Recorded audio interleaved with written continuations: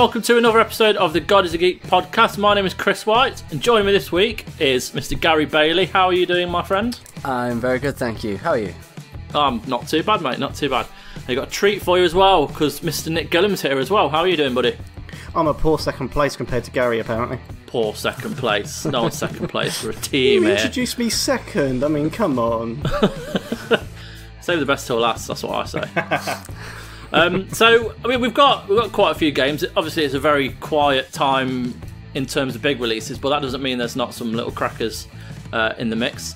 Um, we're going to start off with Captain Toad Treasure Tracker, which Nick reviewed and has been playing. Um, so, yeah, give us give us a little bit of a rundown. What's it What's it like? I'll try and keep this brief, otherwise it won't leave mushroom to talk.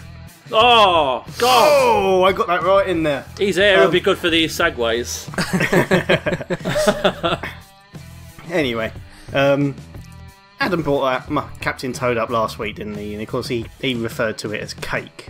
And he's very well versed to actually do that because it is just like cake. Everyone likes cake, apart from maybe celiacs, but you can get um, particular cake for Special them. ones, yeah. Um, but it's oh god, it's lovely. I mean, I played it on the Wii U, and I think I only got up to the first Wingo fight. I mean, uh, the Wii U was a great was a great machine. No one bought it. Um, and one of the issues I always have with playing on the old on like the PlayStation Two, when I went back to play old games, and um, the Wii U is the fact that I, it was hard to bring myself to play games. So I didn't have achievements or trophies or whatnot because I'm shallow and I, I don't see much reason to play stuff these days unless it's got something that rewards me for it. Um, but I did like Captain Toad, but because other things took my attention away, I didn't really play it through. Yeah. So it's quite nice that they brought it back for the Switch. Uh, because it's lovely. It really is. I mean, I love Nintendo's work in design because everything's got like a feel to it. It's got like a, a sense of heft, a sense of place, a sense that it's it's always been there. Yeah. I mean, you'll play like Uncharted, and while the locations are lovely and it all looks really solid, you'll have a section where there'll be like a bunch of rocks fall, and it's almost like that that oft repeated Star Trek scene where Kirk throws this boulder at this sort of lizard alien thing, and you can see that the rock's made of styrofoam, and all the rocks have all this floaty sensation, don't they? In most hmm. games Yeah. everything in Captain Toad has a has a feeling like it should be there, like a tangibility, and I love that about Nintendo's work. And all these little locations they've created, they all fit together. Nothing seems out of place, and because they've had to do these levels in such a way that Toad can't jump, you have to guide him. Everything feels so just so right Mm. it's I mean, the game's not without its faults, but God bloody hell, it's lovely. Uh, What's the um like? Have you tried it on 3DS? I've tried the 3DS and the Switch version. The 3DS version's amazing. Yeah, They, that's you good. won't That's good to hear. believe you won't believe how close it is to the Switch version. Wow. It's only 30 frames a second, but that's not a huge problem with a game that doesn't really require Twitch reactions or anything. Yeah. Um, but it looks, apart from like a bit of anti-aliasing, the obviously the the polygon detail is slightly down, the texture detail isn't quite the same, but other than that, you are getting the exact same experience as the Switch version. So, you, regardless of which one you get, you are not going to lose out at all. Yeah. Uh, you- is there like uh, is there a need to bring it onto the Switch? You- I mean, obviously, I'm not saying there isn't or there is, but I'm just just curious, like because obviously a lot of Wii games didn't get the right exposure because, as you said earlier, no one bought the, the Wii U console. So, you know, is it is it good to have it on the Switch so more people are going to get to play it? Yeah, because not everyone owns a 3DS and not everyone owns a Switch. So bringing it to both machines mm. means anyone who didn't necessarily play it on Wii U but now has one of either of those can play this absolutely lovely game. Yeah. Gary, do you ever have a Wii U? I did, but I never you ever played play this. No. No. I- Any I played- inclination to play it? Yeah, at some point because I, I played the I was, like the levels that were in the Mario 3D world, and they were fun. And like I believe this is kind of more of the same but bigger and I don't know, like a bit more substance, I suppose. But yeah, Yeah. I'd definitely like to try it at some point. Yeah. And in, in, in your review, it mentions there's some is that Super Mario Odyssey theme levels? there's only three of them. Yeah. It's a bit of a shame. You you still got to play the the regular Toad. He gets Captain Toad levels. There's a, s- there's a whole set of those. Then you got some Toadette levels where the same opening sequence plays out. Then you play as Toadette for a bunch of different levels. Um, you still fight the same bosses though, and then you've got Captain Toad and Toadette levels before you then get to the bonus ones. Mm. And that's and in true Nintendo fashion, that's when it starts getting really difficult. Um, they actually open with the Odyssey theme levels, and these the levels they create in this game they're nice and compact. Well, most of them are nice and compact. Some of them are quite sprawling um, tracks that you have to navigate, uh, normally sometimes at speed. Um, but the ones that are self-contained, uh, they pack so much detail into these tiny little spaces, and a lot of the time you think to yourself, where have they hidden this thing that I can't find? Because you think you've looked everywhere. Even when you've angled the character under certain arches, you think, I can't find where they've hidden this. The Odyssey thing, there's only three of them, but oh my god, they really have packed these tiny little spaces with so much more detail than all the other levels. Mm. There's, I mean, the the sand, the Sand Kingdom level, which is the first Odyssey level that you do. Um, you get through to the end of it, and you think to yourself, "Where's the star?" You pull this lever, and all of a sudden, the whole level just changes, and it all become it goes from day to dark. And I, I honestly don't understand how they managed to take this tiny little space and just completely jam it full of stuff for you to find. But that's just Nintendo's design philosophy for you. Do you reckon they Yeah. put in like you, like you could tell these were oh like more detailed and better because they were built for the this new version, like whereas the rest of the game was essentially just like a port. Um, I don't. They still follow the same philosophy. They still follow the same idea that you are in oh, you're in a small space and you've got to find particular items. Well, you got you- you're still looking for an ending item. Like normally it's a star, and the Odyssey theme levels you're looking for a power moon. So they still follow that same. Go from point A to point B, where the final thing is. Find everything else in between, and after it all, we'll give you a couple more bonus objectives. Yeah. It's a, but they've it's like they turned around and said, right, we've got these levels. We're not going to include a lot of them. Let's just just chuck a load of stuff in there and see if people can work it all out. Hmm. I mean, it's, it's we can go read the review on on uh, the website, but it certainly sounds like a very fun little game, and it seems to be keeping in with what Switch constantly seems to be doing. Um, Gary, Yes. Gary, Gary, Gary. Gary's racing game hour. We're gonna. Gary's just gonna talk now for a solid hour about racing games. Um, we're just gonna How many sit of these opinions are going to be bad? Listen. Well, who knows? He's already This- starting in on it. Yeah. Well, do you know what though? It- it's He's got- my meme. It's my meme. I came up with this meme. No one's credited me for it, but it's my meme.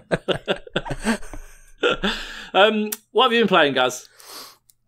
Bit of like everything really. It's one of those things that kind of I just got on a bit of a racing game kick. I think it sort of started going like when I got the the new consoles.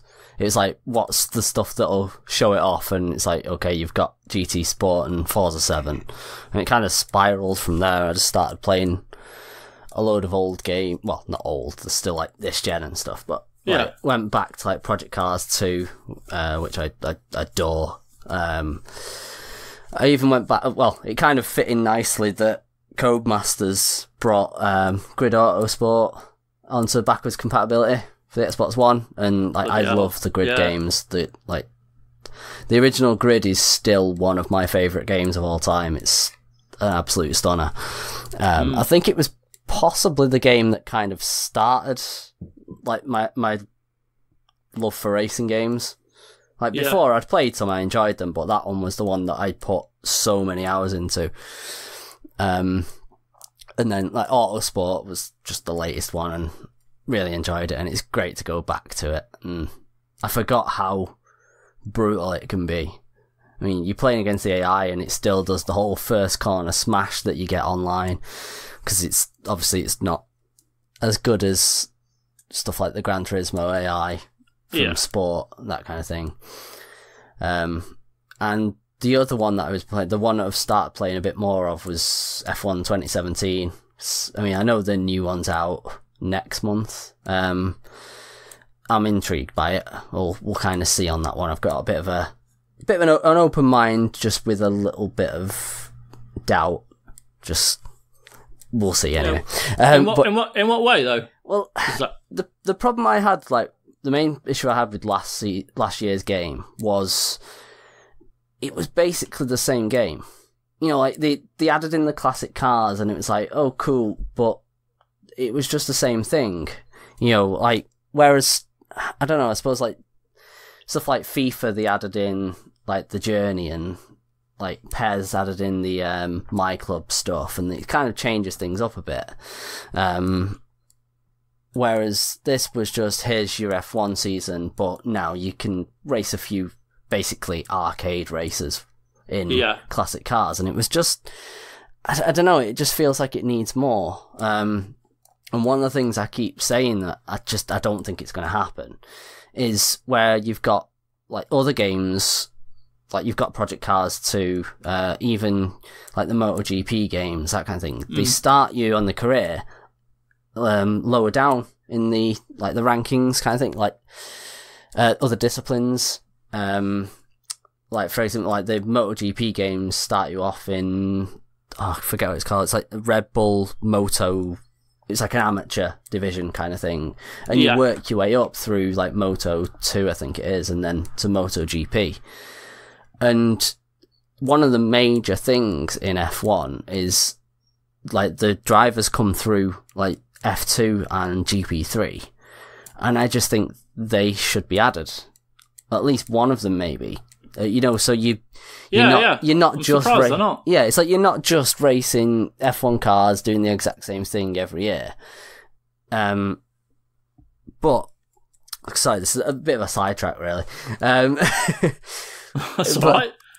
like I went back to 2017 because it was enhanced for the X, and I kind of it was another one where I was like, let's try it out, see what it's like, and it's bloody impressive.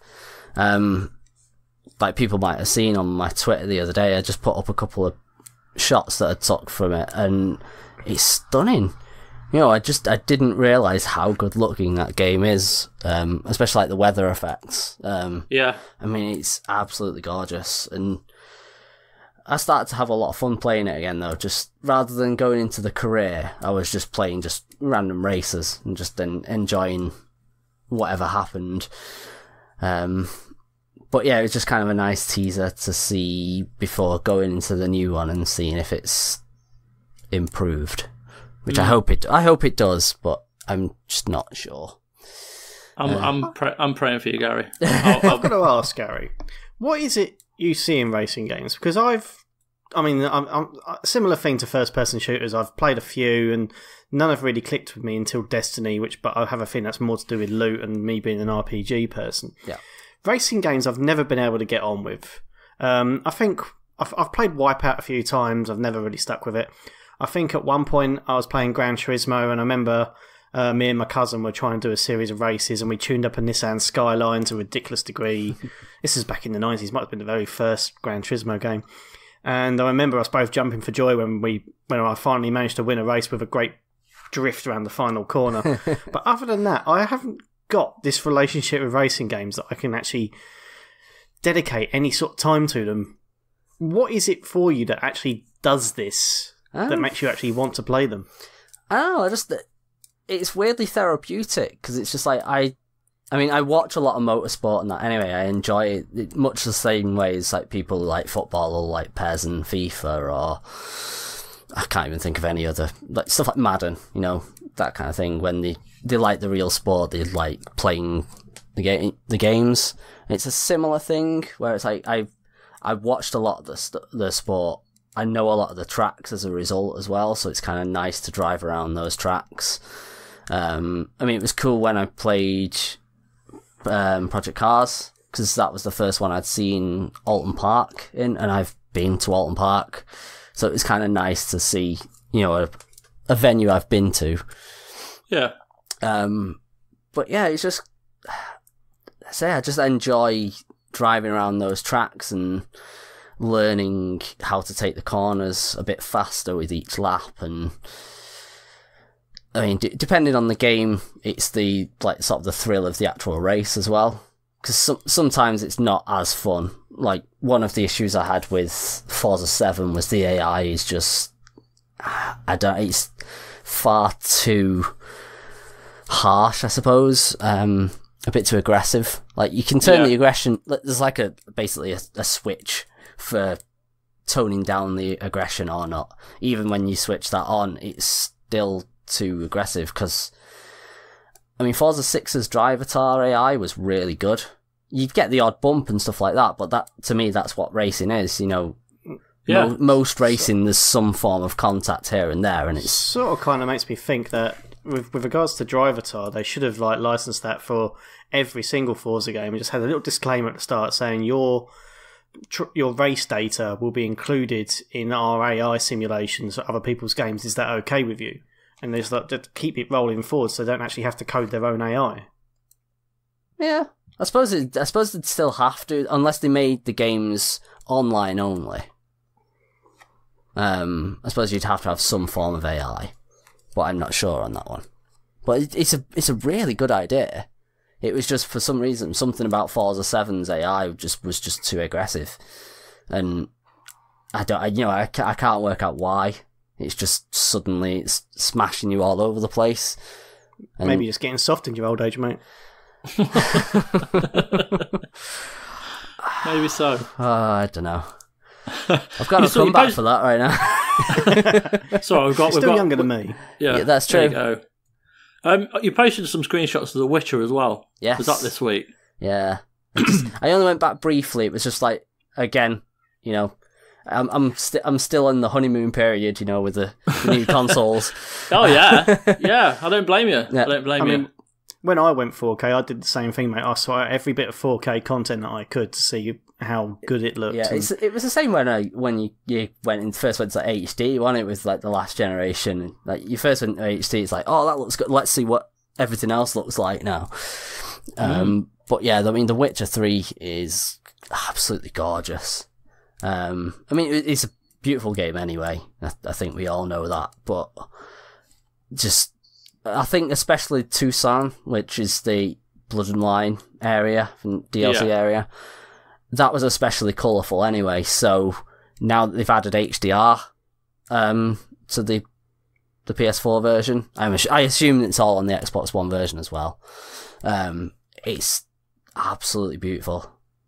Um, It's, it's funny though, isn't it? Because they added this 4K HDR support for Witcher 3, and that runs better than the um, best graphics mode on Red Faction Guerrilla. Very much so. I still don't know what's gone on with that. I've I've tried it since, and they've updated it, but they've still not fixed that. So whether Oh. that's something that isn't going to be fixed, or that maybe they're in the process of fixing it, I don't know. I'd like to think they will, because I mean, it looks it looks good, but it doesn't look as good as say Horizon or God of War, and they don't have that kind of issue. I mean, okay, they're first party, so you'd expect them to run better, but I don't know. It just seems like something's not right there. Like maybe maybe but it's a, a a thing You with look the at other games though as well though, and other games that aren't first party, and they don't seem to have this issue. Some That's do, true. but yeah, that's not true. all of them. Again, I mean, Project Cars 2, that that doesn't have it. That doesn't have that issue, and that's third party, and that looks great and runs I mean, great. Witcher so- Three, CD Projekt Red. That while they're while they're well known, they're not exactly a massive. They're, they're a AAA studio, but they're not a massive AAA studio. They don't have the same resources as a EA studio, for Mm. No. instance, do they? Well, that's that's what's so impressive. I think about The Witcher Three is that, I mean, it's it's still a fairly big team, but nothing like the ones that make stuff like Call of Duty or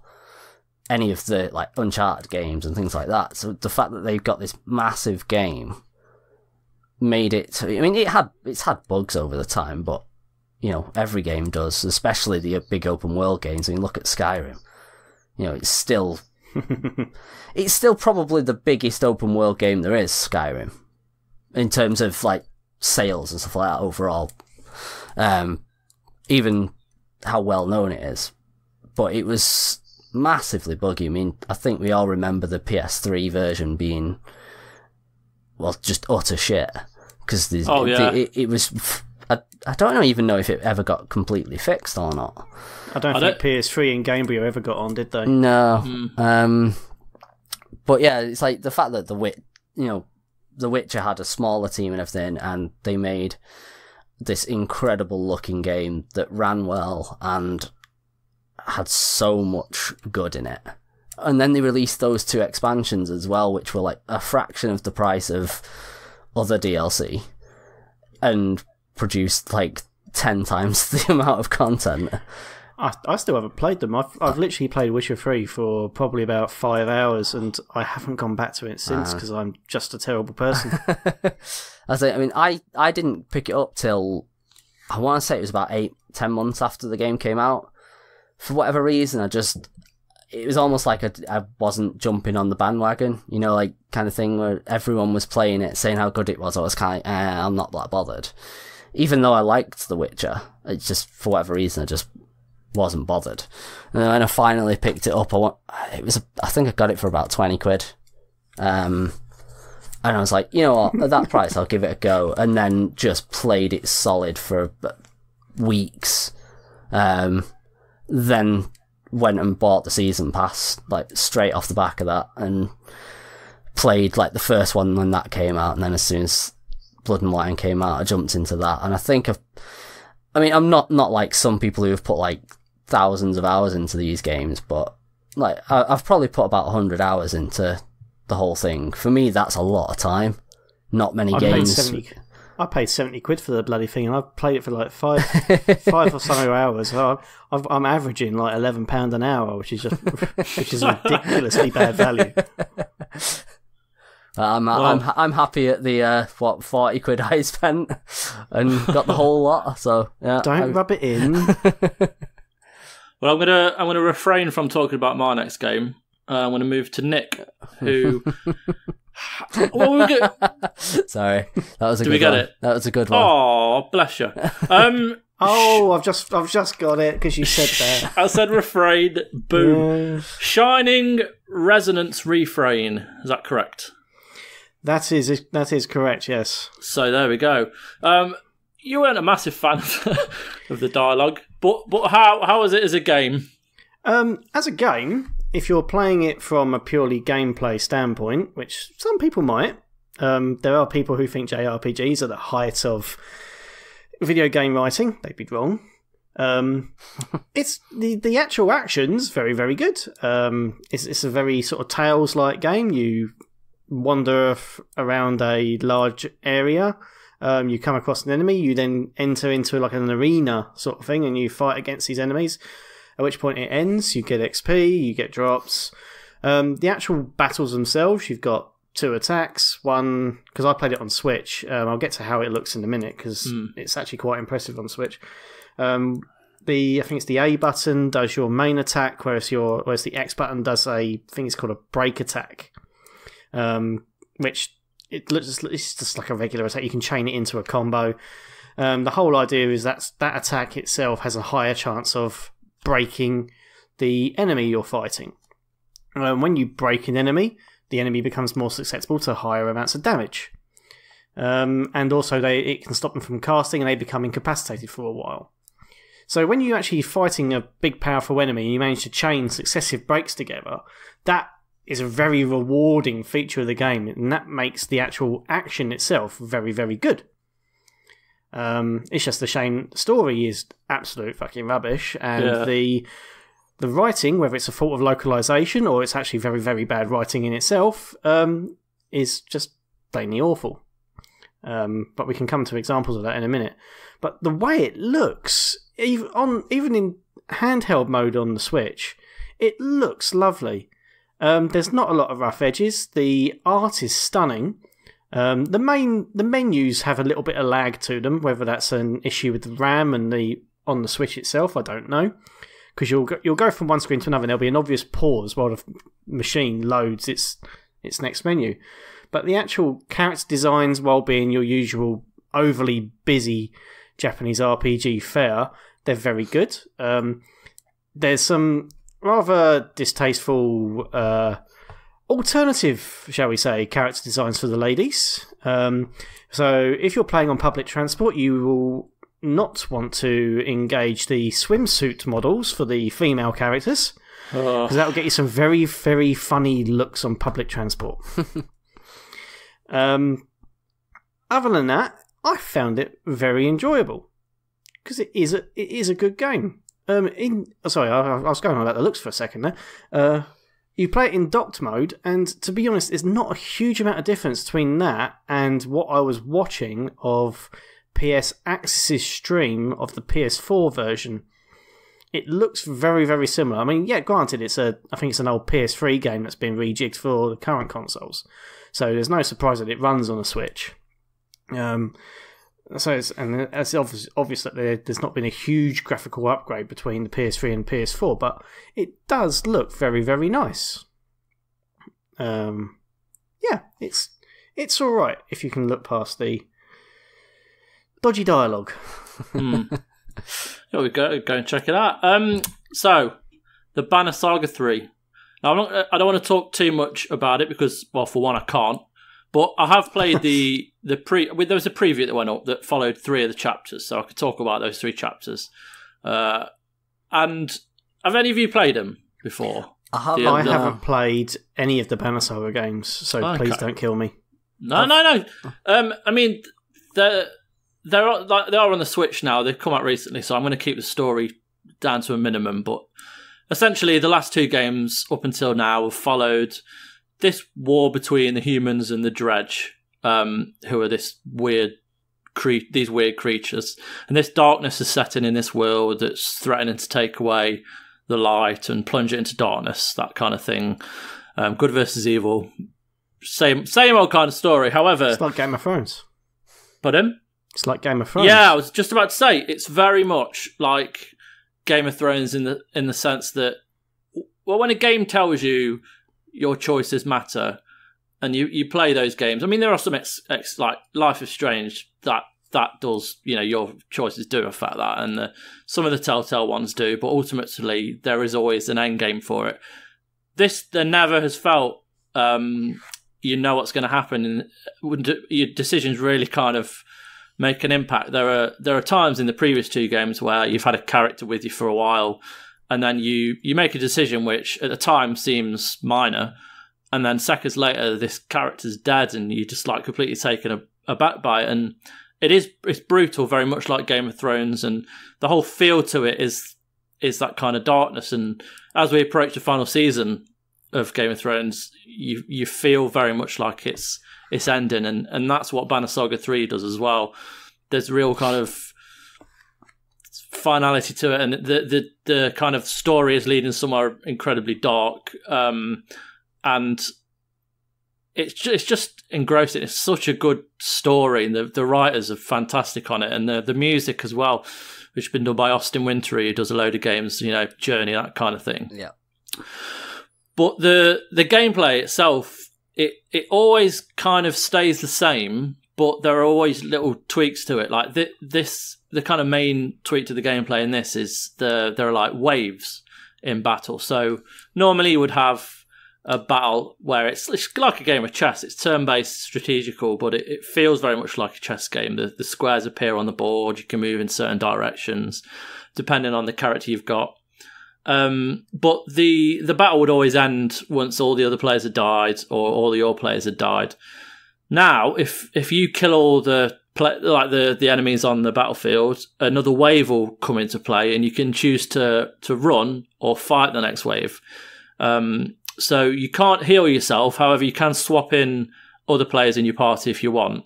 Um, and if you manage to get through the waves, whether it be two waves or three waves, um, you'll get a a special item at the end, which could be a new weapon or a new um, item that you can, you know, use to boost stats, that kind of thing. So it does kind of does kind of play a role, and it does make battles even longer. And sometimes people might not be into that, but that that's that's what this game is. The battles, you feel like you're going through it. Like it's such a kind of. I'm not going to say visceral. I'm trying to find another word. Um, Yeah, Visceral's overused these days, isn't it? Yeah, so it's it just kind of you know you're rooted in the battle and you you need to kind of persevere and you you feel like you're up against it. There's a lot of pressure on your shoulders and you know every battle is like that. And they the the battles can you can have one of these battles that lasts for three waves and then a minute later you're in a, another battle and you're like oh for God's sake. But then there are times when you go quite a long time um, without fighting and there's a lot of story kind of fills through. So the the three chapters that I played are fantastic and a great prelude to what um, or what I am currently playing for review. But those three, you mean, if, if you really love the other two, then there's no reason why you're not going to love these because it's just absolutely fantastic. Um, and I, I, can't wait to play more. So that was me. Before I move on to the last game we're going to talk about, I just want to briefly mention a, a game for the Switch I've been playing for Mikhail's um, brainchild, the Switch Report, and that's Lost in Harmony. Um, it's basically uh, I don't know if any of you have heard of it, but it's a the name like sounds a, familiar. No, I remember. I remember seeing a video of it a while back. It's Yeah. like a you you either you're heading away from the camera, you're heading into the camera. Yeah. It's like a rhythm action game. You're on a Yeah. skateboard or something. like Yeah, that. that's exactly right. Um, it's a runner game where it's the the characters are running towards you, and it's a, a rhythm game as well. Um, now, I'm not I'm not a massive fan of runners. I do quite enjoy rhythm games, but I would never have picked this up. However, the music is just phenomenal. the The soundtrack's been put together by a load of different people. It's got the guy who did the soundtrack for Monster Hunter.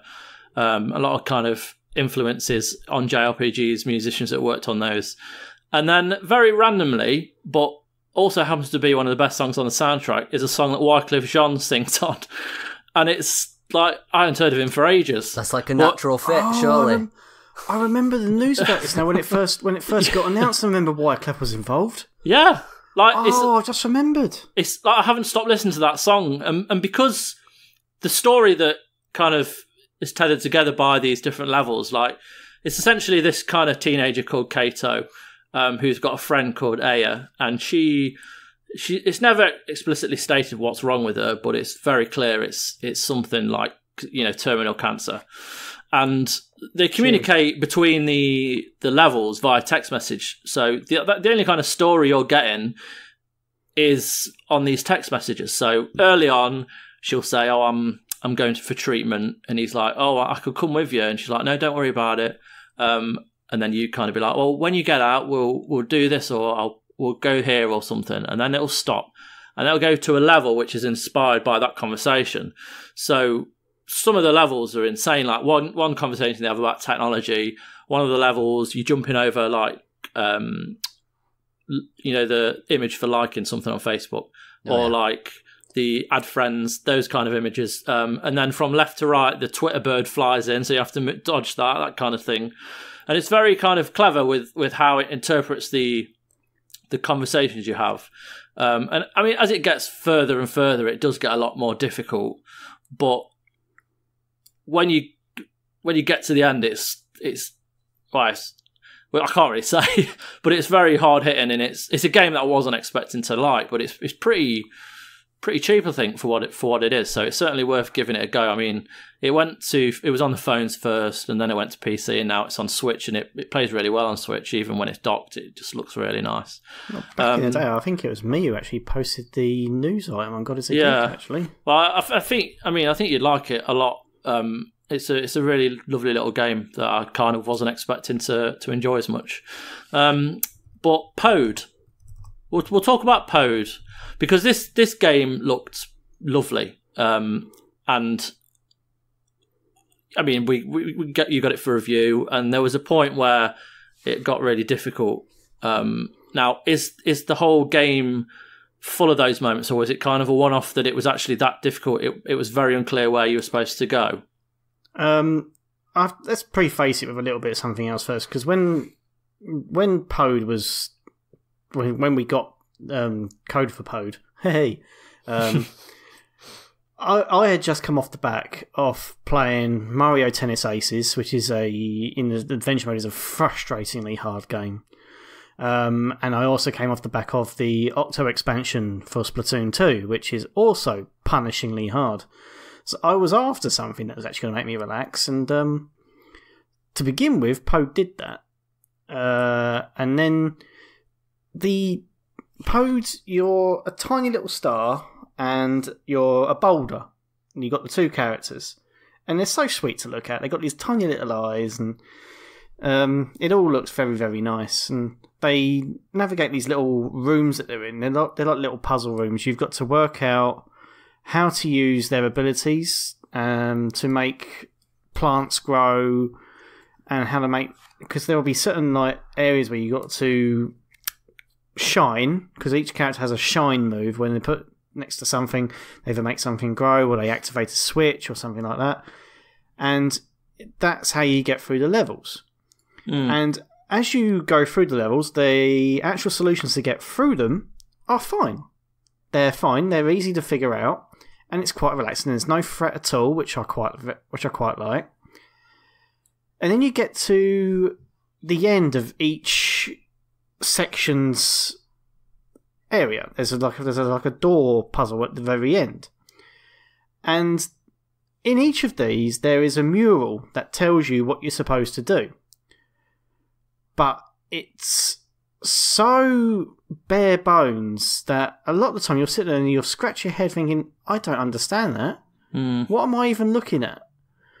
And I I think it was the first four times that happened because I I got to the first one and I got stuck. So I went the other way because you can you can you, do these two at a time. So you can go one way, and if you get stuck, you can go back the other way. So I did that, and when I got to the end of the other one, I was like, I'm stuck again. I can't figure this out. Um, so I waited, and I kept going back, and I kept retrying over and over. I was getting really annoyed because I couldn't figure out what was going on. Um, until eventually the whole bloody thing clicked. And the first four sections took me so long. When I finally got past those, and I got to the final, I think, I'm not sure if it's another four, another five, um, I breezed through them. Absolutely mullered them. Because they, they were just so easy compared to the previous ones. The only thing was, there was one section where the level's completely shrouded in darkness and that is the puzzle. You just got to be able to navigate in darkness, which I think is a bit cheap because it's not really a puzzle. It's just Yeah. stumbling around until you find something. Outside of that, though, God, it's a lovely game. There's, it looks lovely. Um, where the plants all bloom and all the crystals shoot up the wall when Boulder ro- rolls over the right areas. And I tell you what, there's a lovely little thing because if you're playing with somebody else or you're playing alone, doesn't matter which one. Um, the left trigger on the controller um, will control both characters at the same time, so you can make them move around if you want to keep them together. Because when they do a, a simultaneous shine, the area is larger and it, it, it just makes things happen quicker. When you get them together, right at the end of the level, and you stand them next to each other and you hold that button, they hold hands, which is very sweet, and they walk off to the next bit, and it's like, ah. And I've, I've, I've made sure I did that every single time I went to the next level. It's so sweet. Um, and it's it's very saccharine sweet. So if, if you've got an, an, an, allergy to that sort of thing, if you don't like things being too happy, you might want to avoid it. But if you can get past the sort of rather bizarre obfuscation of those closing puzzle rooms, it's very, very nice. And I would recommend it. It's not exactly expensive either. It's a lovely game. Um, it's just those tiny little frustrations. Very small. Um, right, well, news time. I don't know how many of you are excited about Fortnite Season 5 patch, but it does come with some interesting news. Um, the motion controls uh, are now working on the Switch, um, auto fire on mobile, and the all terrain cart. So, the, uh, if you go to our website, you'll see the, all the patch notes. Um, but yeah, basically, the addition of all terrain carts in Battle Royale uh, which will let you go all over the place with your mates, which I think is a is a great addition. And the motion gyro controls to Fortnite on Switch. Um, I- anyone anyone interested? I still can't get into Fortnite. I tried. I tried. I couldn't. I couldn't do it. Um, my son's pestering me. He wants to play it because a bunch of his friends play it. One of the kids on his football team plays it. He knows all the dances. He does them all the time. I go to his football on a Saturday, and he'll he every now and then goes in goal, and he will stand in goal, and while the ball's at the other end of the pitch, if I look over at him, he's normally flossing. Uh, He likes the dances. He wants to play it. He wants me to download it and play it so he can watch. But because it's got all the shooting in it, and I know it's cartoony, I'm not comfortable letting my eight year old play it. And I- as I said, I've tried playing it, and it, it just hasn't clicked with me. It just hasn't. Gaz? Eh, I don't know. I, I've not played Fortnite for quite a while. Uh, I think the last time I played it was possibly when me, you, and Adam played it. Wow. It's- quite a while ago. yeah, I, I'm not 100. percent I might have played it since, but I, I don't remember playing much of Yeah. it. Um, I kind of, I kind of, over the last few months, I've got back into it. I, I bought season four. I probably won't be getting season five, but I do like going back just to dabble in it, you know, to kill like t- 10, 20 minutes and have a few games. But I I mean, mean, I, I, I, I do that with Rocket League, so I can't I can't do it with anything else. so. I do, Yeah, I, but I do feel like I should enough. go back to like because I want to go back to PUBG as well. Um, I've not played that for a while. I, I kind of Yeah. feel like I need to go back and play both of these, and even maybe um H1Z1 a little bit just to see how they've Mm, yeah. how they've all moved on a bit since the last time I played. Yeah. Yeah, we, we- I mean, I wanted to kind of get a video for the Thanos thing when that went live um, for the site, but just time in it. Yeah, We all we all have Yeah. full time jobs. We'll try our best for you guys, but sometimes it just doesn't work. at some point Um, we'll, we'll have to try and like rearrange it, or well, not rearrange, Oh, yeah. actually arrange. I Um, think we should, yeah, yeah, another like uh, maybe a stream or a video or something for yeah, definitely. for definitely. something like well, definitely for Fortnite, maybe for PUBG. I mean, let's face as it, it's incredibly popular, so we probably should do, but it's it's just getting the time to get everyone together, isn't it? yeah, Yeah. Um, Call of Duty 4, Black Ops 4 multiplayer and blackout beta dates have been announced for PS4, Xbox One, and PC. Um, we've got the PlayStation 4 on August 3rd, uh, Xbox August 10th. Uh, PC beta early access starts August 10th as well at 6 pm BST. So, anyone going to be playing this? No, no, I mean, I, I'm interested in the battle royale on that as well. Is that what blackout is? Yes, Is that's is See, I don't- Sep- I haven't got a fucking clue. September is that one? The the Yeah, why know not? Eh? I. Oh yeah, it, yeah, it just says. Oh no, in- you're right. You're right. Yeah, Yeah, just set, just set September, no actual date for that bit. But yes. it's like this and Battlefield. I'm kind of intrigued at how how they handle the battle royale. I mean, Yeah. Battlefield has the destruction, so I suppose that's that's where that'll kind of change things up a bit. But Black Ops, I don't know what it'll be because if it's just Call of Duty but with bigger maps, I, bel Yeah. I believe there was something around the other day saying it's only going to be about sixty players rather than like the hundred you that other games Oh, have Call, used. Call of Duty is. Yeah. I'm, I'm, Mm, I, I want. I don't want to sort of say that as fact because I, No. I can't remember where I read it. Um, it could have just been a load of shit, Reddit. you know, as we know. um, but yeah, I just, I just don't know what they'll do. I, I, I'm interested to see what they do, but if it's just, yeah, if it's just Call of Duty, but essentially a massive version of it, I, I'm, I don't get it. Basically, I mean Yeah. they've, got, they've got to be putting some effort into it. They've got no single player, have they? So Yeah. they've got to be putting some effort into getting this into some sort of form where everyone's going to want to play it. yeah, Otherwise, everyone's just going to stick with Fortnite. mm. I mean, I'm very excited to see Battlefield's uh, battle royale mode, if anything, yeah. just because I think it's a better game all around, really. But we'll see. We'll see. There's there's time uh, left for, to see some more details on that one. Uh, Warhammer Vermintide 2 is out on Xbox One and Xbox Game Pass. Now you reviewed this, didn't you, Gary? Yeah, so good. It's awesome, isn't it? Yeah. Such a good game. So we should all be playing it. Yeah. Well, I, I said it in my review. I've said it. I've said it plenty of times since. It's just like everyone's waiting for Left 4 Dead 3, or just you know lamenting the fact that it's not happening. It's just like it's already happened, basically. Yeah.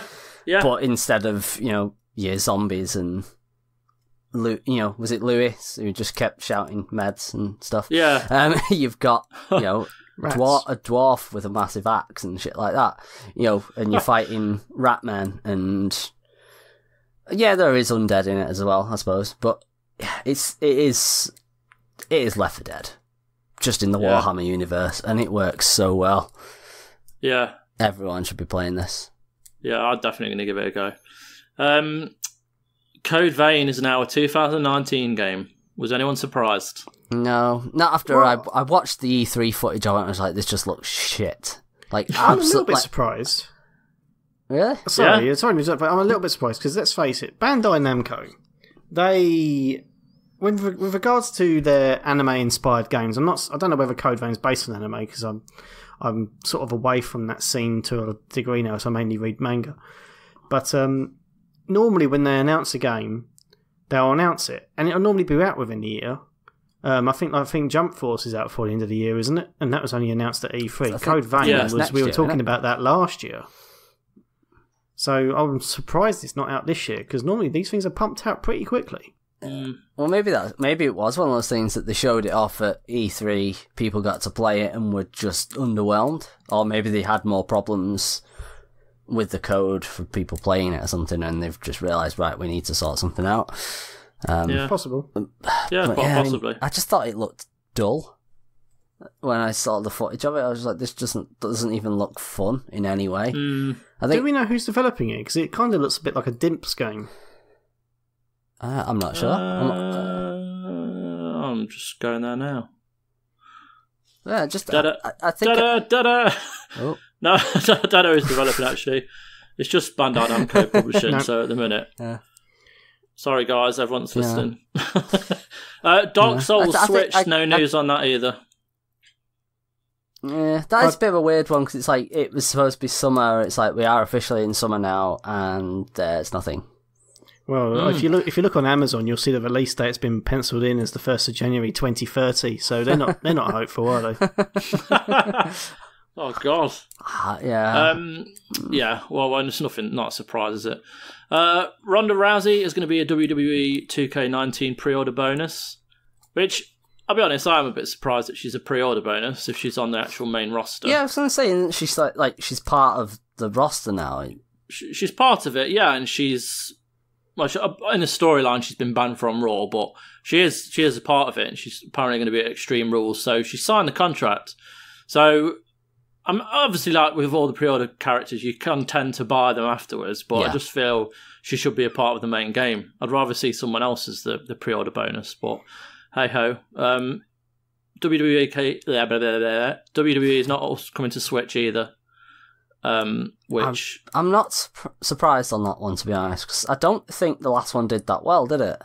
No, And- and and and, the, the the actual console release was bugged to hell, and it needed it needs more focus on on the console one to be able to even consider going to the Switch. Yeah, I don't think you should release a half-assed, you know, game like that on the Switch. It, No. was, it was bad enough. It, well, I say bad enough. It wasn't terrible, but there, ju- there was just a lot that needs working on these games at the minute. Um, and with the release of Fire Pro Wrestling at the end of the month, that's the wrestling game I'm going to want to be playing. Um, That's the so- one they released on Switch, isn't it? It's not Switch, um, Steam. yeah, yeah, It looks And I- like it's, it looks ridiculous, but it also looks like I really want to play it. I'm I'm pretty Oh, sure yeah. I played a game like that back on was it the NES? There's an isometric wrestling game where you had wrestlers in a ring and you could throw each other. Oh yeah, around. there was. I think that the first it, it the was a first WWE game, I think it was just the first game I ever yeah the first game I ever owned on my NES was that it was WWF WrestleMania Challenge. That's it. Yeah. Oh, Yeah, and I had like Andre the Giant and Ultimate Warrior and Rick Rude. I mean, it was oh fucking hell. again. Like, it was ridiculous, but it was great fun. Yeah, but this I haven't this played this, a proper WWE game since SmackDown on the PS1. No, oh, that's but it. You don't, how you don't need been. to. They were the best. That, I think Although that, some, some kind of the best. kind of says it all. I think it's like the last game either me or Nick played like WWE was actually WWF. Yeah, it was before Yeah. it's even changed the name. yeah, And Well, the it- last time I really watched WWE was when it was still in the Attitude Era. Um, yeah, it's been a long, long time. yeah. Man, it's struggling at the minute. That's a different story. Um, Monster Hunter World on PC, August the 9th. It's a no-brainer for me. I think people need to play it. Um, Still not I hope- played it. Well, that's not true. I played it a little bit on PS4 at friends, and it seemed quite fun. But I've not it's played it's it weird to any degree, any real degree. because it is it is a game that, for the most enjoyment, needs to be played with friends. Yeah, Um, and like once one of you falls off it, the no one else will play it. I mean, I haven't been back to it since we kind of playing it with like Adam and Yeah, because I remember uh, you- Adam Carroll and a few off the it. site, like Chris Hyde and Yeah. Dane and that kind of thing. Like it was, it was ace. You know, we had a really good time, and then we all kind of dropped off a little bit. I mean, Mick is a trooper. Yeah. Like he's, he's still bloody caning it, and, and that's that's great, you know. So there, there's a lot to it, and I think people that don't own consoles, they'll, they'll be playing this. They've got to. It's fantastic. And Mick, Mick was still really playing Destiny. And he was Yeah. really disappointed with Destiny too. I think that's probably because Monster Hunter World came out so soon, and he he just really got into that, Mm. didn't he? Yeah, yeah, definitely. Um, the last bit of news was just basically it was put in an Instagram post by Mr. Nathan Fillion, uh, and there's a picture of Drake, the hip hop artist from Toronto, and um, something about Uncharted, an announcement for Uncharted coming soon. So, I mean, the obvious guess is that a film's in the works and Fillion's a part of it. Now, I, I think I don't know if he's too old now to play him, but it's a very good match. Imagine if they mm. imagine if they put him in it, but he was actually playing Sully. Oh Yeah, that, God, That that just like oh, I could just Drake, imagine. Drake, Drake! It'd be awesome. It'd If be it's up to amazing. someone to play Drake himself, I'd probably go with Paul Rudd. That's not a bad Oh, shout. That's not a bad That is a good shout. That is a good shout. Yeah. I mean, he's he's getting his acting, his action chops in quite a lot these days, isn't he? Especially Yeah. with the Ant Man You films. see, Yeah, so I think him or buff. Chris Pratt. like, Chris Pratt would be a, I think a good one as well because he's already got the. Yeah. I think like- I think his features are a bit too boyish looking. I don't think he grows stubble well enough to put him into that role. Plus, his hair's too curly. Sorry, Chris. Sorry, Chris Pratt, if you're listening. Which obviously you Oh, are. yeah. Obviously you are. Hey, got a big fan base, mate. All of Hollywood. Yeah. Um, list of correspondence time. Now, the questions we've had this week are really, really good. I'll, I'll be honest. So, someone from Discord. Um, I'm going to put this question out there. Hideo Kojima has a ridiculous fan base. Why? Because he's ridiculous. Because he's ridiculous. Next. No. no, good point. He is. Yeah, he is ridiculous. I still but- don't understand it because it's like, well, I understood it like earlier. You know, when like you had like Metal Gear Solid, the first one, um, and then like the second one got a little bit of slating, but it was to me it was still really good. Three, everyone loved, but I I didn't get on with, which I'm sure will shock nobody. No, I'm, Um, I'm with you. I'm with you to this point. I completely agree with everything in a minute. It all hinges on what you say about Sons of the Patriots. I mean, I I really liked Metal Gear Solid. I loved it. The pontificating got a little bit too much in Metal Gear Solid 2. I loved Metal Gear Solid 3. It's one of my favourite games ever made. Um, Metal Gear Solid 4 got a little bit too preachy once again. Oh, but it has one of the best scenes in gaming. That The one on the boat. The, the, the- radiator, uh, it was the actual scene. Guns of the Patriots scene. Oh God! when Ocelot's doing their whole just finger guns and it's just everything's going off. I'm like, that's just fuck. And the, I mean, to be to be fair to the guy, actually, I don't think anyone else could get away with an hour and a half cutscene in the middle of a game. No. I mean, That it was- was literally an hour and a half. Yeah. I think no, no, I think that one was an hour. I think the ending was an hour and a half, and Yeah. it's just like no, nobody else could get away with that. Um, No. but I mean, I I just didn't get on with five at all.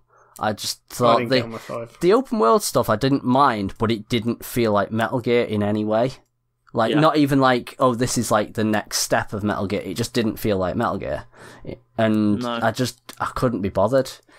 I finished the main part of the of the, of the first part of the story, and I started the second bit. But when I started having to do the original missions with the little remix parts, I couldn't get past the fact I didn't want to do that, and the fact Yeah. you had to do it to unlock further parts of the actual story Yeah. really grated on my nerves. I'm, No, go- I completely I'm- agree. I'll probably I think it's- piss more people off as well, but I just thought uh, PT was boring. You know, like, everyone went mad over PT, saying it's like, oh, it was shit scary and everything. I was like, it was alright in terms of the scares. It had a bit of atmosphere, but it it was just boring. And I know it was like a, a tech demo essentially and a proof of concept, but it was just it didn't have anything to do with Silent Hill. You know, it didn't even like a feel point, like it was part that of me and Gary just agreed on something. It's very weird. It was like, you know, hey, you know, if you want to finish the demo just so you could see a little trailer, you had to do all that really ridiculous, s- stupid shit. Like, what was it? Like, you had to blow into the microphone or something at certain points, and You had to, yeah, no, you're right. Yeah. You had to go. You had to go on YouTube, find this video with Hideo Kojima talking, play that bit into the the the PlayStation controller. But then before then, you had to wait till one of the clocks in the in the hallway turned to a certain time. Then you oh, did that. fuck off. Seriously? yeah, it was, Yeah. it was just, Yeah, it was. stupid. It was. It was. It was mental. What a Um, load of bollocks. that was the thing. I mean, I'll be like, I'm, I'm a huge Silent Hill fan. I'm still waiting for Konami to do something. Um, yeah, as are we all waiting for them to do something with pretty much anything other than PES. Um, pachinko machines, mate. Pachinko. But it's just like when I found out that Kojima was involved, I was like, no, please don't, because it's like I'm as a game developer, I think he's he's he's definitely brilliant. You know, he can do amazing things that you know others will only follow. But as a as a writer of of stories, fuck off. Just quite honestly, he just writes fucking nonsense. Uh, like even I mean to be fair, you know to be fair like so like the Metal Gear games are just 100% nonsense but it kind of works for that set you Oh, know I do. I do adore him though. but yeah I mean I I love those games and like I say uh, unsurprising to nobody me and Nick don't agree that on Metal Gear 3 um but yeah You're wrong. uh, um, but yeah, just yeah, I don't, I don't get the undying love for Kojima. I mean, when they showed Death Stranding finally, we're still no closer to knowing anything about what the game is. You're a delivery man, from what I can tell. That's just the stupid thing. It's like everyone was like, "Oh, one of my favorite games of the show was Death Stranding." This was like two years ago when all they showed was like this little concept demo, or whatever it was, and it was just like, "How is that your favorite?" It's basically because Kojima's involved, and because of the whole thing of the whole fuck Konami, whatever it was. You know, people were like, "Oh yeah, we'll we'll all stand with Kojima. It doesn't matter what he does, basically, Yeah, just because fuck it's that. I really, Fuck I that really movement. dread to think what the budget for that game is, considering the names that are involved in it. Yeah, that's it. They've got some I mean, I- massive names. I in bet it. you anything they he because they're using the same engine that um, Horizon Zero Dawn used, aren't Mm. they? Yeah, I bet you anything they've licensed that to his studio for free to make sure that they deliver something on it. yeah, I wouldn't be surprised. Quite possibly. Yeah. Um. Next question from McPoo. If you had to invite four video game four video game characters around for a dinner party, who would you pick? See, that's a very good but tough it's an ac- question. excellent question. Whatever you do, do not invite Nathan Drake round. He will shoot everyone in a heartbeat. Yeah. That Yeah. guy's got a body count like you wouldn't believe. Like it's a bit like dinner. Hot Shots. you mean Hot Shots Part Two? It- surely. Yeah, well, that's what. So pedantic. Hey, that's me. dinner party or like down the pub. The I, I don't I, I don't, don't really thi- know. I don't think he'd mind. Like, I, I don't think he'd mind the uh, the context and where we go, as long as there's four video game characters. Okay, McPoo, if you listen, I hope you don't mind, but we're going to slightly alter it to a night out with four video game characters. Let's let's go with something incredibly left field just to find out what the fuck happened to your career. Let's go, Bubsy, um, Zool, Leisure Suit Larry, and Gex. There you go. mate, that'd be There's a conversation for you. depressing What the fuck happened to your life, guys? oh man, I could just imagine them just sat at the bar, just drinking whiskies on the constant, and then just throwing up into a gutter outside at the end of the night, having to carry them home. Like, they're, they're not going to be having a good time with us. They're going to be miserable. I'd like to invite like villains, just to sit, you know, like like Bowser, just like, why do you why do you constantly just keep kidnapping Peach? What's wrong? She's what obviously not happened in your you, mate. life that made you do this? You know? I feel like he'd give the same kind of speech that Wreck It Ralph does. Like, just because I'm a bad guy doesn't mean I'm a bad guy.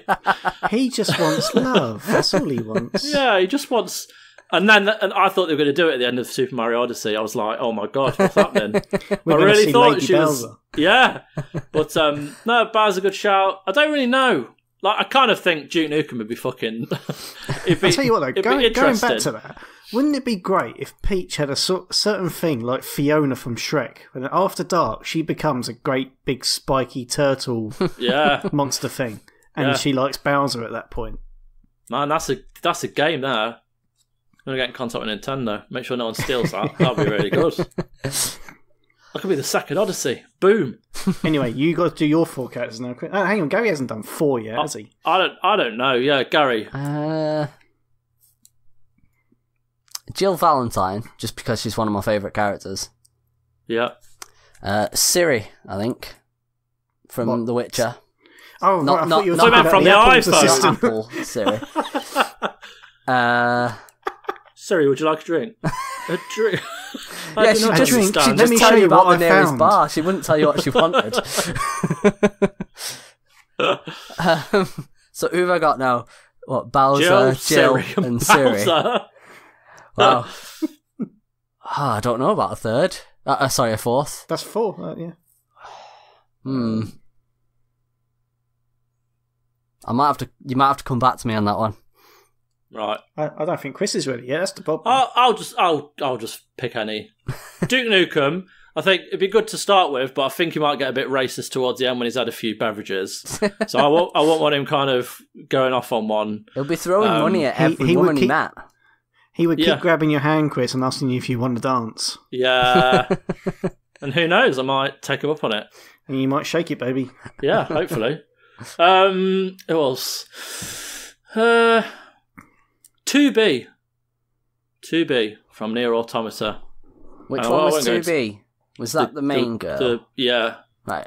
I'm not going to go into why. Just, I just. um, who else have we got? I don't know. Do- There's, there's like, what about Doom Guy? oh, Be a stunning guy. conversationalist. Yeah, yeah, he'd be fantastic. yeah, there you go. He's my fourth. Oh, he stole him. I thought you were giving him to me then. You've got Duke. I'll tell you what, though, Gary, your your dinner party night out on the piss with these characters would be fucking shit. You've chosen the worst conversation that you've ever could have fucking chosen. Yeah, it's not. It's um. Yeah, but at least there at least go. if anyone started on me, I'd have like the best people around me. Chris, what about the guy from Far Cry 4, the guy in the purple suit? Oh, what's his name? Something Min. Pa- Pagan, Min. Pagan Pagan Min. Yeah, Joseph. Joseph. Uh, what's his face from? What are the names in Far Cry Five? Joseph Seed. Was it Seed? Oh, Seed. Yeah. Yeah, because Yeah, that was he the was- clan. It was like the clan. It was their name on it. Yeah, I just couldn't stop thinking of Column. It just reminded me of Column, not not in his accent, but just the way he looked. So every time he came into a scene, I was just thinking, "Oh, imagine if Column was here." but um, yeah, no, Joseph Seed, he, he was well interested, and his sister Faith. Um, anyway, I love the I love the quick like um uh, moving on. I don't right. I know I, I know the video game characters, right? But we're getting to a day and age where they're they're like the the kind of voice actors that impressive that you can't help but uh, find them attractive. But there you go. That's that's a different that's a different time. Um, Twitter. So uh, at Rotten, it's Darren, good friend of the site. Um, what has been your favourite ever gaming peripheral? Um, e.g., flight stick, fave controller, wheel, or the Kinect, etc. mm. I'm never, I've never been a peripheral kind of fan, but I always used to love the Super Scope because that Yeah. was like my I first think step away from just playing the video games with a controller. yeah. I I liked the um. Is it the Guncon three? I think it was. Oh, it was you on the bastard, you stole Yeah. mine. That, but that one was great because it had the little D-pad on the back as well, so you could Was that, actually that play. one, was that one with Time. Crisis? Or was, Uh, was that a different one? Yeah, it came with Time Crisis on PS2, I think. Yeah. I, But had I, that. like I used it mainly on uh, Resident Evil Dead Aim. Oh, because I'm thinking of the Guncon that came on that came with Time Crisis on the PS1. Oh yeah, yeah, yeah. This was like the Yeah, the next one yeah. on. It might have been 'Cause I- Guncon two. I remember One them, the anyway. the control scheme allowed you to use a controller as the Yeah. pedal to duck as well. Yeah, I 'cause remember was that. amazing. Because on the very first level of Time Crisis on the PS1, I played it so much, I had a 97% accuracy. I was deadly with that bloody gun. There's a Um, soundbite to Stolen take. mine, you bastard. I think I keep, liked, keep talking, I'll come up with something. I liked the um the speed wheel, you know, that came out for the 360. The one that was just it was just a wireless wheel, but you know, it was like motion sensor. That was that was impressive Yeah. actually because Yeah. when it first came out, I was like, "Nah, that's not that's gonna be shit." But a friend of mine was given one, um, and he was like, "I don't play racing games. Do you want it?" I was like, "Yeah, cool, thanks." And I played it, and it was so so responsive. You know, like you, I expected it to be awful because you know what motion sensors were like then. It- Yeah. like the Wii, the Wii was kind of like the the first one that did it with, well, a decent amount of success. Um, that's another one actually. The just the Wii remote, especially with the, especially with yeah. the uh, the plus motion plus on it. That Oh yeah, that was very I've impressive. got one now. yeah, very. I've got one now. The original Guitar Hero controller. Oh yeah, Yeah, that was good fun. I I played. I mean, Guitar Hero came out towards the end of the PS2 lifespan, so it sort of like bridged the gap between the PS2 and the PS3. And I remember getting it, and I thought, this game's fucking fantastic. and I played that game to death. I got the second one. I played that to death. Oh, I just remember clicking those buttons away to DragonForce's through the fire and the flames. I was the only person who actually managed to finish that song on medium, let alone getting any higher. And Beast and the Harlot as well. I was playing that thing was beautiful, absolutely beautiful. I loved that thing. Yeah, I know- Good shout. I know someone on on Twitter replied to this message. Uh, I I apologize, I don't remember the name. Um, but he was saying the um, Steel Battalion controller was his favorite, and I'm like, you know what? Actually, that's it's a damn good shout because that was ridiculous. Well, the funny thing about that, right? Because I remember everyone going on about it, said, "Oh yeah, it's lovely and all that, but it makes the game too expensive. It's like 150 quid." Oh, yeah, and nowadays we've we've had Mick post on our Slack about that 400 dollar Darksiders free Yeah, edition, and people are probably going to go, "Yeah, I'm going to get that." When the hell did games not become expensive anymore? that that I kind of get. That I mean, I I don't think they should have done that version if I'm honest. Uh, considering this is a game that you nearly didn't get made, but it is three like high quality statues. So it's like if you think most of the time they're like a hundred quid each anyway. uh, When you Free get high these quality editions. statues that soon become free high quality bookends. Well, that's Yeah. it. It's, it is. It is very much for very particular collectors. Where it's like, I mean, there was a time when I used to collect stuff like that. I used to enjoy, you know, like the statues and that. I've still got my um, is it Alduin, um, the you know the Skyrim, Skyrim. one. Yeah, I've still got that. I, I, I've still got the uh, the the Big Daddy from Bioshock as well somewhere. oh, Um, People who want this are the sort of people who make one hour long YouTube videos ranting about bollocks with a great big wall of toys, video games, and models on their shelves behind you, them. you mean like Adam Cook with his amiibos? That's a bit different. That's a little bit different. He's got, he's got, he's he's he's gonna have words with me when he hears this. He Um, probably will, and deservedly so. But yeah, I mean, yeah, that that controller. Sort of going back to that question, it was. I mean, that game was ridiculously hard. I don't know if any of you played it, um, just because you, you know, you'd have all these, but it was literally you had like a a mech control system in front of you. And there was an eject button, wasn't there? Yep, and, and it's just like the stuff. You know, you had. I think if I remember right, you had a little, you know, like the plastic flip up thing with a switch underneath. I think you had like that for like switching on the the mech and stuff like that. And it was really cool, and it was a really great idea. But the game was ridiculously hardcore. You know, like unless you devoted many many hours to learning it all, yeah, you weren't going to have any fun with it. But as a as an idea, it was a, you know, it was brilliant. yeah. There you go.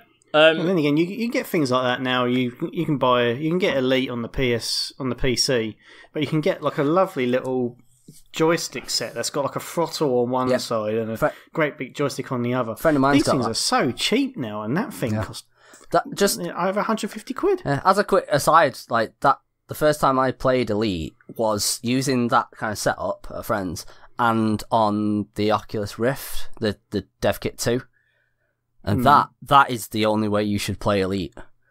It was damn good.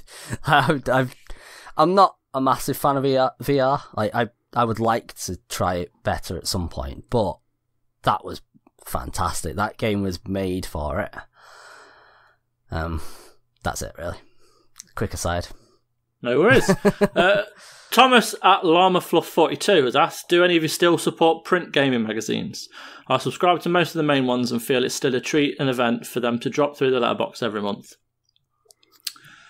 I don't I- personally buy them anymore. No. However, I'll support them because I think a lot of hard work goes into them. I mean, we know a few on Twitter, and Games TM is one. Um, obviously, Games Master, um, and then like things like Retro Gamer are really cool because they they they dedicate a lot of time to working, you know, reminding you about a lot of great games that Mhm. aren't the obvious choices uh, when it comes to thinking back to yesteryear. So yeah, there's definitely a lot of good print magazines still out there, but I personally don't um, don't buy them anymore.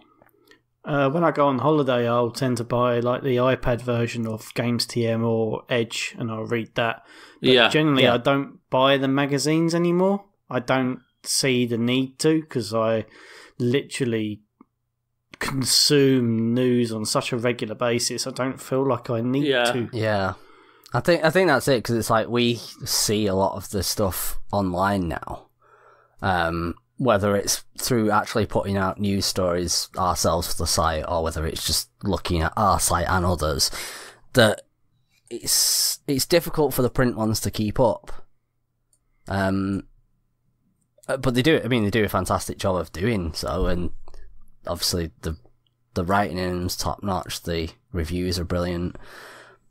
But yeah, I just I don't have the the time to be reading them now. Oh, I, I will say a lot more work probably goes into creating one of these magazines and goes to putting something up on a website, which is a hmm. bit sad, really, because the, these magazines do deserve support. These are the people who laid the groundwork for us to be able to broadcast news on the internet because they they created these things that people bought and made an audience for it.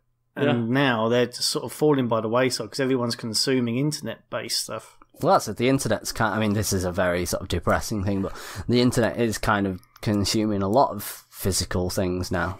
You know, you you think of stuff like Amazon is taking away brick and mortar stores. You know, it's or taking away from them. You know, the a lot of places can't compete with the internet prices, and a lot of stores close as a result. And it, it's unfortunate. It seems to be the way of things. Like the internet's come along, and we've hit like the digital age, and yeah, depressing. It's good. It's, it's good for for us, But not the people that work in these places. But you know, it's just the nature of things. Something always takes over and you know finds a way. Um, but yeah, next question. Uh, Dale at Sir Delboy. Um, do any of you have a game that you'll play at least once a year? Every year, no matter how big my pile of shame is, I will always fire up The Legend of Zelda: A Link to the Past. Sometimes I'll just play the opening. Other years, I'll finish the whole bloody thing. Good question. I, I oh wow, Gary, is there one game like you'll play from start to finish every year, or go back to just because you miss it so much? Uh, I mean, uh, the there's a like genre. I'd say I I constantly go back to certain racing games. Maybe not one specific one, but you know, just going back to the genre now and again. Yeah, Um, otherwise, it's it's probably the original Resident Evil or the the remake. You know, it's a sort. It's a game I absolutely love. Um, is it? yeah, is it? yeah. The, the I, didn't, I didn't realise. I know you you wouldn't know it, would you? But it's like yeah, I it's, mean, the- fuck, it's fucking magnificent. uh, the first Resident Evil is my favorite game of all time, so I'm happy to go back Yeah. and play. E- even if I don't play it all, you know, it's nice to just play a little bit of it. Yeah, of course. There. And At some point, I will get back to the stream for two as well. So I'll, yeah, I, I enjoy that game. It's been nice to play a bit of that again, actually. Oh, do you imagine your face when Resident Evil 2 comes out? It's gonna, you're going to be so happy. Oh yeah. He won't be able to leave the house for days. He won't be able to start because he's tenting in his pants. Nick? Um, I have to say, first of all, bravo to Dale for his choice of game. Legend of Zelda: Link to the Past is an absolute masterpiece. That game, I've I've said it. God knows count. God knows how many times. I've tried to put my feelings into words. I've failed every single time when I've tried to write it down. But that game, there's not a single wasted pixel. It's an absolute stunning game. It's perfectly um, dictated. There's no there's no downtime. It's amazing. It was my favourite game of all time. It, it, it's it's been eclipsed recently because by a game that I never that I never even considered that it would have happened. Um, I mean, it very nearly happened when um, uh, not a link between world. No, it was a link between worlds on the 3DS because that's basically a retelling of the same game, and that is almost as good as a link to the past. Um, but Mario Odyssey has eclipsed that because as far as I'm concerned, Mario Odyssey is just absolutely perfect. It's brilliant in every single way. But to answer Dale's question, um, a game that I go back to every year, um, I didn't really have one until recently. Um, I reviewed uh, Rocket League when it came out on the Switch, and then my son started playing it because because he noticed it was new on the Switch. And when I pointed out to him that it would look better on the PlayStation 4, he started playing that. And now, if I've got any downtime whatsoever, if I if it's somewhere around about half nine, ten o'clock, nearly approaching eleven, I will boot up Rocket League and I will aim to get myself a win. Um, at which point it will turn into, now that was a good win, but I want another. Uh, and then it'll turn into, well, we won that one, but I don't feel like I really partook, so I'm going to keep going until I feel like I've actually earned the win. And I cannot stop playing that game. It's I, that is the game that I'm going to probably keep going back to until they turn around and say, "Sorry, but we're turning the servers off." Mm. No, good choice. Um, uh, mine's The Last of Us. I play that every year. Um, I adore it.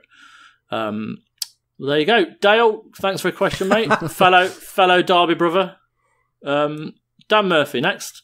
Now we all know who Dan Murphy is, former Guys Geek alum. Um, I haven't really played out this year. what do I need to play? I was tempted to do it in his accent, but I didn't want to make it make fun of it because I love it. I just didn't do. I don't want. To, I would do it an injustice. But um, just to, I mean, there's lots of games that have played this year. But uh, could you pick a favourite you've played this year so far? Um, Iconoclast's probably still up, right up there. Yeah. I need to play that. Uh, God of War. I mean, surely Oh yeah. that has yeah. to be there, doesn't it? Yeah. Um, It's it's it's a hard question to answer because you don't actually know what Dan's favourite sort of game is, do you?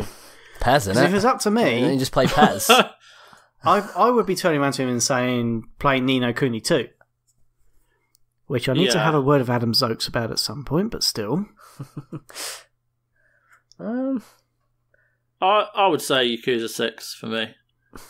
Oh, that's a point. Um, That's fantastic. Yaku- you say Yakuza 6. Something I noticed today, if anyone's after a deal on a Yakuza game, Yakuza 0 is on Amazon for twelve ninety nine. That's the lowest price I've ever seen it. So if you want an entry into the Yakuza franchise, there's your entry point. oh, bloody hell, twelve quid to change your life. I, I would say go for it. Definitely.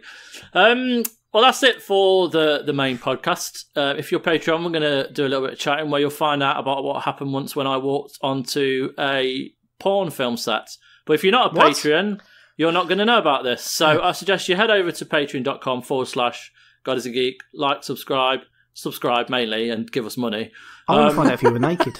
Um, but there you go. That's it for this episode of God is a Geeks podcast. Um, obviously, you can go and follow all our work on godisgeek.com. There's all our reviews, features, which we're hoping to get some more up on there. Um, and go and listen to previous episode of podcast if you if this is your first one. You know, we all love games. We're all very honest, and we get on, and it's just a kind of good good environment to have a website. Especially listen to on. the ones that I'm on, because they're very good. Exactly. There you go. From the horse's mouth. So you, you go and follow us all on Twitter. Uh, Nick's at NikeG1. Uh, Gary's at Blue Fury 47. I'm at First Avenger 83. And that's it. That's been it for this week, guys. Thank you for joining me. Thank you very much. No worries. And we'll see you all soon. Thanks for listening, guys. Take care. Bye bye.